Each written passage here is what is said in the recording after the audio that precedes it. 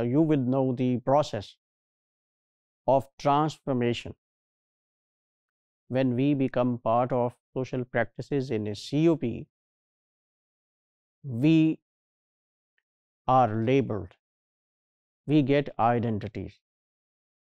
These identities define ourselves. How this process takes place, let's try to understand it. These ideas have come that uh, we are defined, we are given meaning through social practices by joining local groups at micro level. They are uh, microcosm, mini societies, in other words. Uh, we can't relate directly with larger society.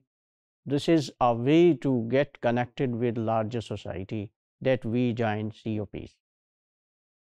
So these ideas which we are talking about in this module, they have roots in anthropological linguistics. What is that? The study of language in relation to social groups are COPs.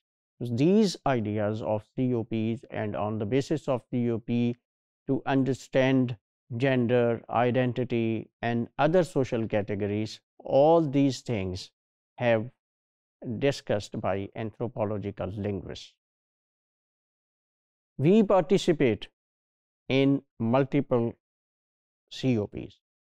The process starts from here. First of all, we get membership at a given time and over time. This is not one time joining. We come, join a COP, we live there, we leave it, and then we join an other COP. Sometimes simultaneously, we join multiple COPs and it does not happen at a particular time. Rather it goes on throughout of our lifespan. We are member of a family a sports team a religion and so on. See, simultaneously at the same time we are members of these multiple COPs. These communities offer different forms of participation for men and women. Now, on the basis of gender, how gender involves in these participations? On the basis of being a male and female, our participation is decided, its level is decided. Our view of gender is constructed in such participations. So, this is how as a man and as a woman, we will understand ourselves and others. Sex differences are constructed through linguistic and social practices in COPs. In the previous modules too, we have said that when we take part, active part in social activities within the COP as a player, as an athlete, we are part of our team, we take part in, in sports actively, we know how to play certain games, how to know their norms and rules. So, this knowing takes place through language, through instructions. Our coach uses language to tell us all these things. We construct ourselves as different from and similar to others. So, when we are involved in COPs as men and women by using different language patterns, different language styles and uh, going through different on the basis of gender, different social activities, we understand that we are different from others, why we are different from others and if are the same, why we are similar to them. For example, we may understand I am a heterosexual, middle class, Pakistani, professional, and man. Being a man, I am believer of heterosexuality, opposite sex relations, according to the norms of the society.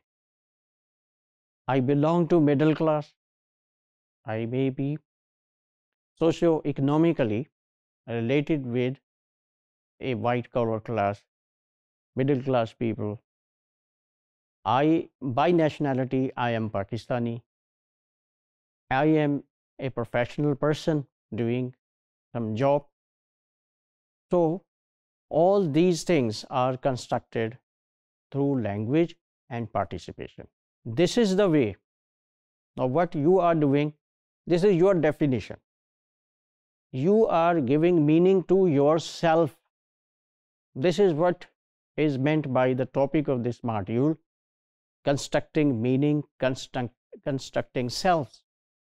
You construct your meaning, meaning of yourself by joining COPs. Gender is not matter of two similar social groups. Now, through this participation, rather participations, we know that gender is not a simple straightforward dichotomy that you are male, you are female. No, it is a complex of social categories because gender is not isolated. Gender comes through or comes to physical form through race, through age, through all these factors. So, if we want to study gender, we have to study it as a complex of factors. These categories, what would happen? All these categories, they would make us kinds of people, types of people. They would categorize us they would give us identity, they would give us meaning. Language is a tool that provides labels for these kinds of people.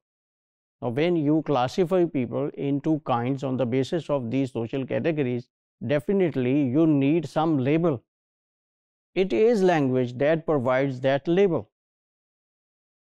For example, language calls you hippie, druggy, phony, showy person, and snobs, liberals, and the khiladi and jale, etc. So, this is how language provides you labels. It defines yourselves. These categories are not directly visible.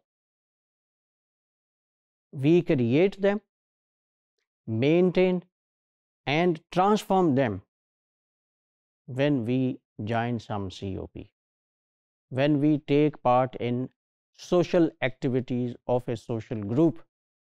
That group may be our school, that group may be uh, our uh, club, that group may be a sports team.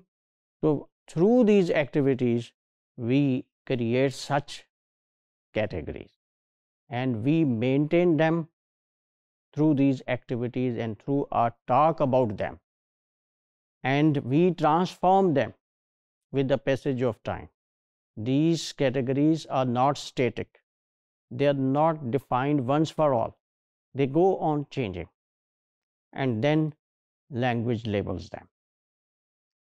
The categories are often, sometimes you uh, go to COPs to define these categories to get some label for yourself and sometimes these categories themselves become basis for a COP. On the basis of these categories, COPs are formed. So, this is again a mutual relationship between an individual self and a COP.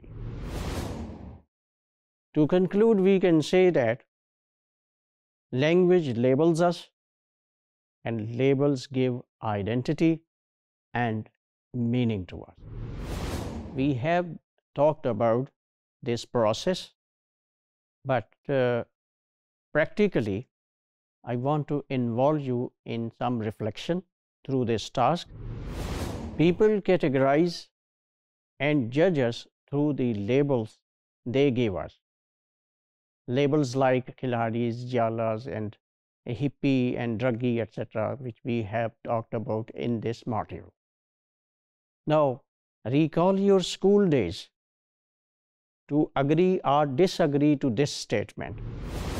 How in your student groups, student COP in your school, how you labeled each other and how these labels led you to make certain judgments and opinions about each other. With the help of this task, you would understand the practical forms of uh, what do we mean by this constructing meaning and constructing self.